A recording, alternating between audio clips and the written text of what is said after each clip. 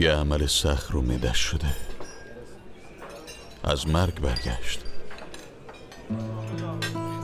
ماها تو بیمارستان بستری بود. ما رو خیلی ترسوند خیلی روزای سختی رو گذروندیم.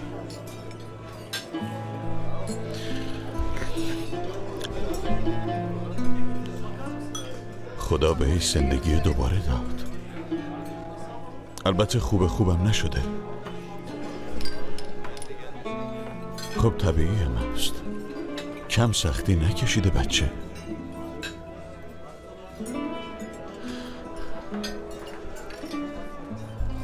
اصلا معدش رو بل کن. رویش تیکه پاره است.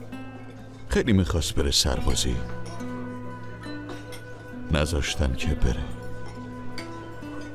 براش خیلی گرون تموم شد. کمرش شکست. کوچیک شد. جونش سلامت. منم فکر جونشم. خدا اونو دوباره به هم داد. شکرشم سر جاش. اما دیگه تحمل زمین خوردنشون ندارم. حرفمو می‌فهمی؟ اون دیگه غذاشم درست حسابی نمی‌تونه بخوره. چه برسه به مشت؟ نمی‌دونستم مشکلش اینقدر حاده. به من نگفته بود. ولی من الان بهت گفتم. کس دیگه ای رو برای مبارزات پیدا کن. یقه پسرمو ول کن. اون اومد سراغ من. به زور که نیاوردمش. حالا هرچی. بعد از این دیگه مبارزه نمی‌کنه. نمی‌ذاری مبارزه کنه.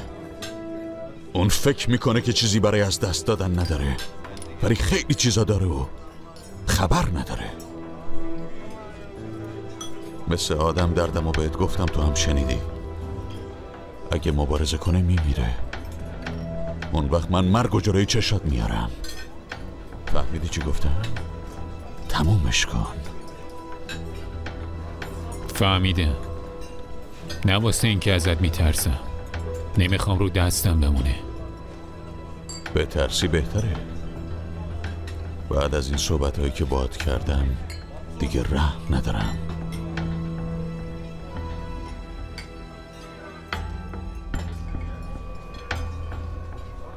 ممنونم. داداش هوا ما هم داشته باش. ببین کیا اینجا؟ اسب خیلی داداش سامی. ممنونم. نوش جونتون باشه. ممنون. داداش مغازه رو که گفتیم دیدی؟ دیروز از گلتن خانم برات خبر فرستاده نه هنوز ندیدم. مغازه خیلی عالیه کرایش هم معقوله. صاحب مغازه هم خیلی آدم منصفی سالها می‌تونی اونجا کار کنی. حسین یه وقت دیگه حرف می‌زنیم مهمون دارم. ببخشین داداش من مزاحمتون نمیشم. نوش جونتون. فردا اگه حالت مساعد بود با هم یه نگاهی بهش بندازیم. باشه؟ حسین شب بخیر. مزاحمتون نمیشم شب بخیر. آقایون سلام. سلام علیکم. سلام علیک. خب چه خبرها؟ به به به به.